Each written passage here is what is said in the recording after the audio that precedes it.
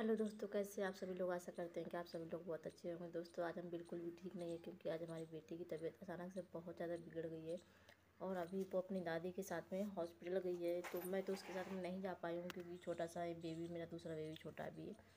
तो मुझे इसको देखना होता है, इसके वजह से मैंने नहीं गई हूँ और पता नहीं बेटी को अचानक से क्या हो गया कि बहुत ज़्यादा सुबह से आज रोज़ जा रही है रोज़ जा रही है। तो फ़िलहाल मैंने अभी इसको हॉस्पिटल भेजा है। बाकी दोस्तों पूरा वीडियो जानने के लिए हमारा मतलब पूरा डिटेल में जानने के लिए हमारे साथ में लास्ट तक बन रही है और वीडियो अच्छी लगे तो प्लीज़ दोस्तों हमारे वीडियो को लाइक करें कमेंट करें और चैनल पर पहली बार आए तो प्लीज़ दोस्तों सब्सक्राइब कर लेना हमारे चैनल को और अगर आपने अभी तक हमारे वीडियो को शेयर नहीं किया तो प्लीज़ शेयर कर दीजिए ताकि हमारी वीडियो और भी लोगों तक पहुँच पाए और हम नए नए लोगों के साथ में जुड़ सकें और आप हमसे जुड़ सकें। तो सबसे पहले दोस्तों कि एक्चुअल में ऐसा हुआ ना कि कल से यहाँ का मौसम ना बहुत ज़्यादा मतलब चेंज हो गया। अचानक से अभी तक मतलब कहाँ अड़तालीस उनचास डिग्री गर्मी पड़ रही थी और अचानक से पैंतीस से छत्तीस डिग्री पे आ गया टेम्परेचर और सबसे मेन रीज़न ये है कि अभी तक मतलब इतनी गर्मी तो थी और कल से हमारे यहाँ पे ना कंटिन्यू बारिश हो रही है। और सुबह मतलब दस बजे तक बारिश हुई है, उसके अब स्टॉप हो गई है।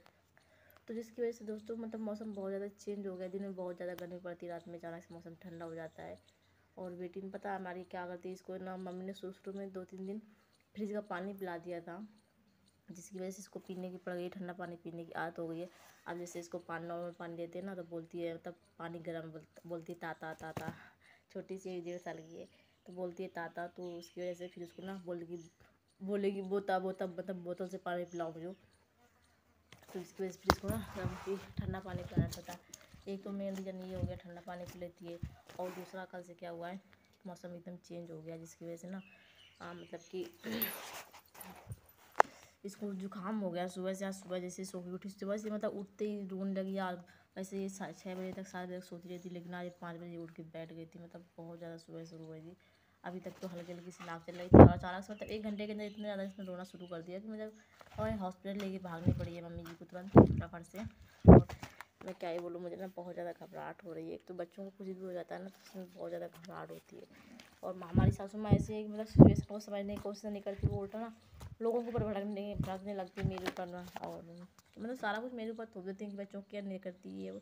यार मेरे हाथ में कुछ हो तो मैं सब कुछ कर लूँ। ना तो मेरे हाथ में मतलब इतना मेरे पास पैसे, ना ही मुझे कोई देता है। तो मैं कैसे मैं सारा कुछ मैनेज कर सकती हूँ? आप बताइए। जो भी काम होता है तो मुझे बोलना पड़ता है हस्बैंड से कि आप दवा लेने जाना तो उसके खाते में पैसे डाल डॉक्टर के खाते में। सासू मम्मी हमारी बात, इसी बात को लेकर बढ़ा जाती है सच में। मतलब मूड कभी कभी इतना अपसेट हो जाता है। कभी कभी लगता है सच में यार कहीं ऐसा ना हो कि मैं ज़िंदगी से जंग ही हार जाऊँ, ज़िंदगी से लड़ते लड़ते मैं कहीं खुद को ही खो दूँ। तो बहुत ज़्यादा कभी कभी मैं परेशान हो जाती हूँ खुद से। मतलब कितनी कोशिश करती हूँ हालातों से लड़ने की, लेकिन जितनी मैं कोशिश करती हूँ ना हालातों से लड़ने की, हालात मुझे वही मतलब थोड़ा सा निकलने की कोशिश करती हूँ। कहते ना तो रबड़ देखी हूँ ना अपनी रबड़? रबड़ को थोड़ा सा खींचो ना, और जैसे इसको छोड़ो तो बस फिर जो अपनी पोजीशन पे आती है तो बस वही सारी चीज़ें हमारे साथ में भी हो रही हैं।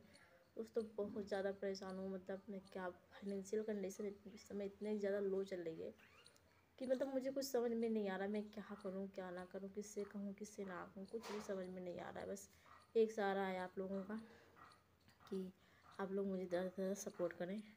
और गर्मी इतनी ज़्यादा पड़ रही है, घर के सारे पंखे ख़राब हो गए कूलर ख़राब हो गए और आज सुबह से लाइट ही नहीं आई है। कूलर पंखे तो जो है भाड़ में लाइट ही नहीं आ रही तो करेंगे तो करेंगे क्या? देख सकते हैं ये झूला झूला आई झूला झूला और मैं इसके झूला झूला रही हूँ। बहुत ज़्यादा दोस्तों परेशान हूँ, सच में मतलब कभी कभी ना मुझे सच में अपने आप पे रोना आता है, बहुत ज़्यादा मैं मतलब परेशान हो जाती हूँ, मैं तो क्या करूँ, कुछ भी नहीं समझ में आता है मुझे। बाकी दोस्तों, आप लोग हमारी बेटी के लिए करें कि वो जल्दी से ठीक हो जाए और मुझे पता नहीं इस समय अचानक से बहुत ज़ोरों से घबराहट हो रही है, बहुत ज़्यादा घबराहट हो रही है मुझे। मुझे कुछ समझ में नहीं आ रहा था, मैंने सोचा कि क्यों ना एक वीडियो बना डाल दूँ आप लोगों के साथ में। तो वो सारी चीज़ें तो अभी भी समथिंग बेटे को आधा घंटा हो गया है। अभी तो पहुँची होगी, अब दवा दवा ले रही होगी अभी तो।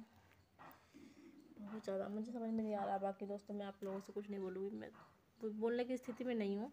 बाकी दोस्तों प्लीज़ आप लोग मुझे ज़्यादा से ज़्यादा सपोर्ट करें और हमारे वीडियो को लाइक करें कमेंट करें और हमारे चैनल को ज़रूर सब्सक्राइब करें दोस्तों। थैंक